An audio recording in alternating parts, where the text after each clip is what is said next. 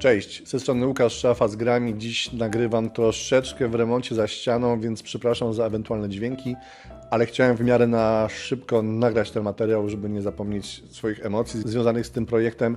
Opowiem Wam dzisiaj o rozwiązaniu wszelkich bolączek fanów dosowych gier.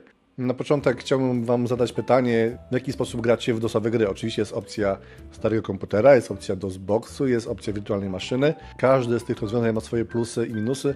Jeżeli chodzi o retro maszyny, jest to super rozwiązanie, jednak nie każdy ma miejsce na dodatkowy monitor, dodatkowy komputer u siebie w mieszkaniu, wtedy przechodzimy na DOSBoxa. Ale z DOSBoxem jest kolejny problem. Trzeba go konfigurować, nie każda gra chce działać dobrze. Wtedy korzystamy z GOG.com, który jest super, posiada bardzo wiele skonfigurowanych gier, ale nie są to wszystkie gry. I w tym momencie na białym koniu wchodzi Exodus, biblioteką ponad 7000 dosowych gier, i tu zaczynają się delikatne schody. Pierwszym problemem Exodusa jest szara strefa i tutaj każdy musi odpowiedzieć sobie sam na pytanie, czy chce grać w pirackie gry, czy jednak zostanie przy swoich oryginalnych nośnikach, ewentualnie przy GOG.com, czy jednak zanurzy się na tym oceanie pirackim i spróbuje pograć w gry, które być może nigdy nie dane by było mu pograć. Swoją przygodę z Exodusem zaczynam od ściągnięcia programu, i tutaj pojawiają się dwie wersje. Mamy wersję pełną, zajmującą ponad 500 GB danych, albo Lite, która zawiera około 50 GB danych. Czym one się różnią? Exodus nie jest tylko i wyłącznie bazą gier, ale każda gra ma zeskanowane pudełko, ma zeskanowaną instrukcję, często ma zeskanowane też plansze z kodami antypirackimi i te rzeczy są na stałe przypisane do wersji Lite Exodusa. W momencie, kiedy chcemy w jakąś grę zagrać, musimy w nią kliknąć, wybrać opcję instaluj, wtedy pobierane jest ona z torrentów. Jeżeli nie chcemy czekać, albo mamy słabe łącze, wybieramy wersję pełną, która zajmuje ponad 500 GB i posiada ona wszystkie gry już zainstalowane w Exodosie. Wybór pozostawiam Wam i Waszym dyskom twardym. Jakie są zalety Exodosa? Pierwszą zaletą jest to, że przy odpaleniu każdej gry pojawia się dość obszerne menu i możemy wybrać wersję, w którą chcemy zagrać.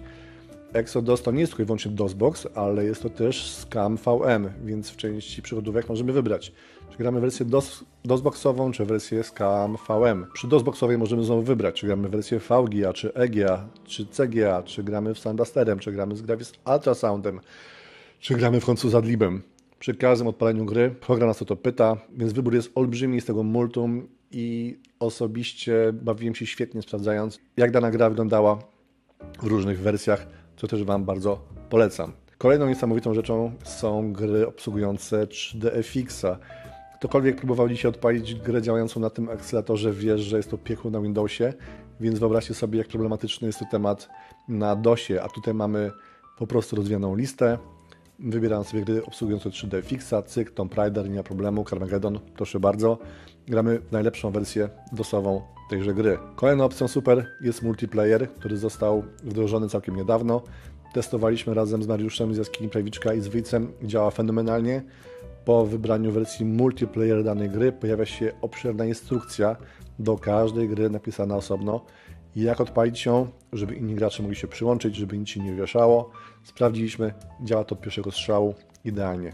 Polecam koniec bujania się z Lamparty, koniec bujania się z jakimiś dziwnymi serwerami stawianymi, żeby udawały e, sieć. Tutaj wszystko działa od razu. I to jest największa zaleta Exodusa. Tutaj wszystko działa od razu.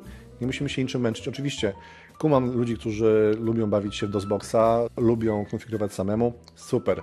Exodus jest dla ludzi takich jak ja, leniwych, którzy zapomnieli już jak generuje się autoegzeki czy konfigsysy, nie chcą się bawić z pamięciami niskimi czy wysokimi, jakkolwiek się nazywały po prostu chcą odpalić daną grę na 15 minut, żeby sobie przypomnieć dawne czasy, wyłączyć ją i o niej zapomnieć. Także w opisie podam link do Exodosa, ściągajcie, próbujcie. I też pytanie do Was. Jak Wy lubicie grać w swoje stare gry? Czy macie swojego retro peceta? Jaką ma konfigurację? Jak wtedy gracie w gry DOSowe? Jak Windowsowe? Jak Windowsowe 9.5? Jak Windowsowe XP?